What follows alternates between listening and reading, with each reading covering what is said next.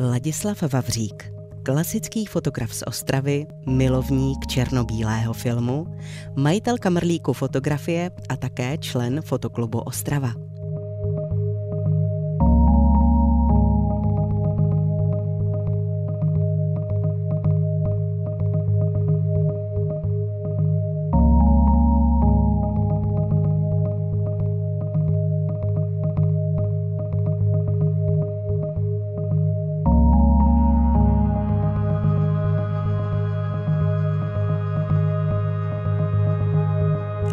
Vše vlastně začalo? To už je dávno, člověče.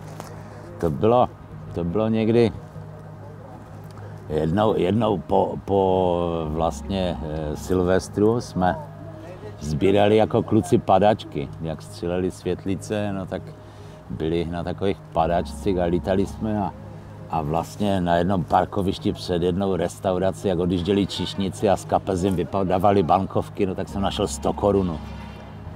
A tatík říkal, za tu 100 korun si kup, co chceš, oni to stejně nakradli. a tak jsem si pořídil první foťák Pioneer za 69 korun. K tomu pár filmů. A to bylo v nějakých deseti letech, no.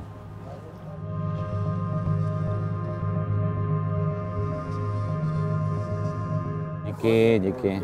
Prosím. Ježíš, no ten, no, to není možné, to nemůžu zkazit. Jako, hmm. No, no to je paráda.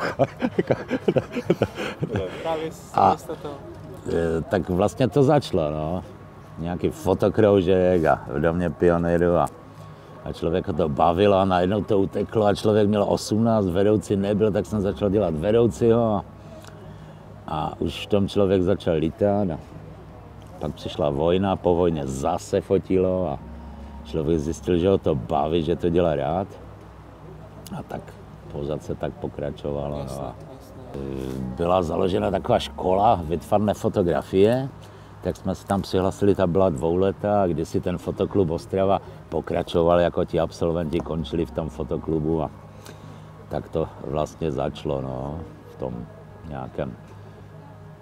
Ta parta jako chtěla zůstat po kupě, Jasně, jasně. tak to pokračovalo a, a, a tak nějak mezi tím člověk pořád fotil, blbnul, nakonec šlo se přihlásit vlastně, FAMu bylo nedostižným jako cílem a v Opavě na Sleské univerzitě otevřeli eh, eh, jako eh, institut tvůrčí fotografie, tak jsem se tam zkoušel přihlášet, eh, no takže na po třetí, na po čtvrté se to podařilo. tak jsem absolvoval bakaláře a, a, a člověk v tom začal lítat ještě víc. A fajn je, že, že člověk potkal spoustu lidí, kteří, kteří taky rádi fotí. A, takže vlastně takhle to všechno pokračovalo.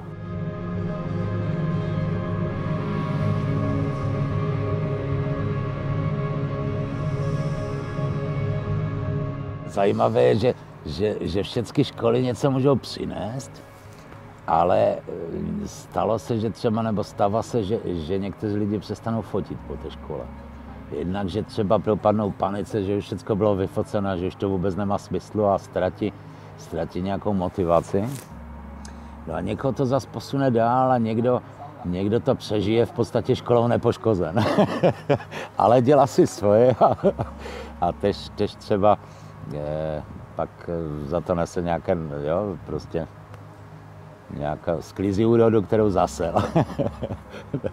Ale je to, ta škola může pomoct hlavně informacemi. No. Tam třeba bylo skvělé, že se člověk dozvěděl, co se děje na světových festivalech, co se děje v Paříži, co se děje v New Yorku a e, vlastně sám by to nebyl schopný stíhat v- kor v té době, kdy ještě nebylo běžné jako tak často navštěvovat internet. A, takže vlastně ty informace a, a stejně nejdůležitější ve všech školách, kurzech je setkání s těmi ostatními lidmi, kteří mají jiný názor, dělají úplně něco jiného, jiné pohledy, co člověka zase posune dál. Ale někoho může vlastně ovlivnit, eh, nebo tež záleží, když někdo chce mít třeba jedničky, no tak musí vyhovět všem eh, těm vyučujícím. A když nechce mi, no tak si bude dělat svoje. A co je důležitější, no, jako, jo, že fotit si, co chce a jako prodat to. Tak, člověk by to musel umět, třeba, nebo, ale člověk, když to neumí, tak, tak eh, prostě si fotí pro radost a sem tam někde něco udá. Jako, jo, že je mnoho cest, no. Ale asi, asi je jednodušší nebo jednodušší. Já jsem to byl jako, že pro mě je přivětivější si fotit, co, co, co chci a, a nesi za to jako od, odpovědnost riziko, e, že nemusí dělat, co, co, co by ho někdo nutil. No. To je asi důležité, taková relativní svoboda. No.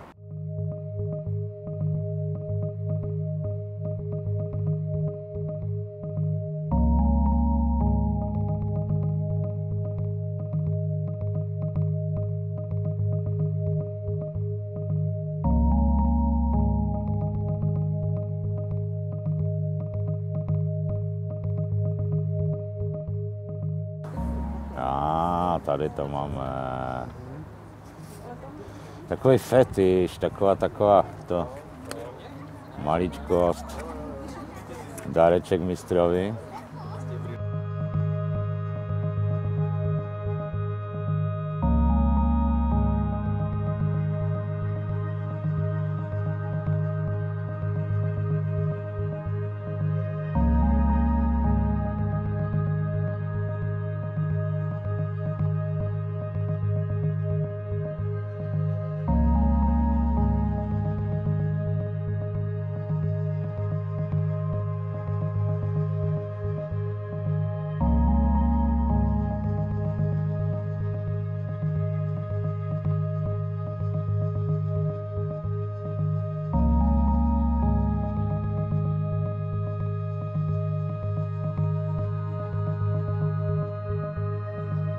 Z každého výletu si vždycky dělám takový souborek nějaký, inspiroval mě třeba tady tento obrázek této pražské uličky a tak člověk k tomu si nafotil takový soubor, takový pamateční, jak, jak procházel Prahou a takové bloudění městem v podvečer, kdy, kdy vznikají různé reflexy a jako bývají Občas člověk se zastaví před nějakou vilou a, a tady už se blíží k půlnoci, tak to je takový snímeček. A tady ráno, to jsem se probudil a viděl jsem okno z lůžka, no tak hned jsem se musel natočit s foťákem a vyfotit tento záběr. No.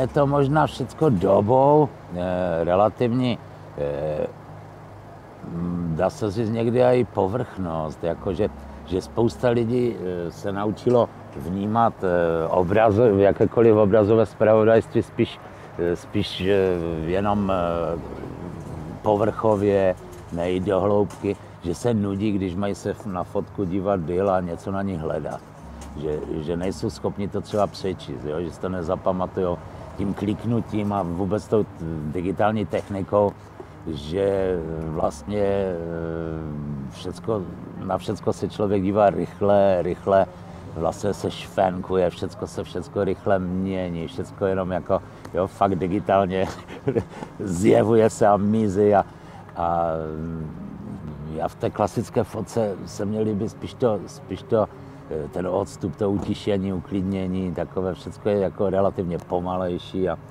trvá to sice díl, ale, ale člověk si to víc prožije. Proto třeba mám ráda i odbočení k té dírkové komoře a takovým těm starším, starším technikám a takovým těm starobilým archaickým věcem.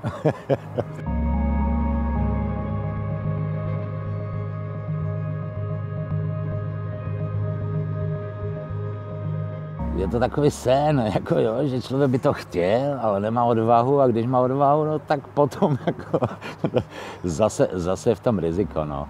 Ale, ale e, došel jsem postupem času hm, v době, kdy jsem dělal v nemocnici, e, vlastně k takovému závěru, že vlastně člověk už začíná mít nějaké roky, aby, e, že by měl dělat něco, co ho baví. Jo, ať ten čas zbyle ještě nějak jako trochu, trochu užije. jo, dělat si víc radosti, no.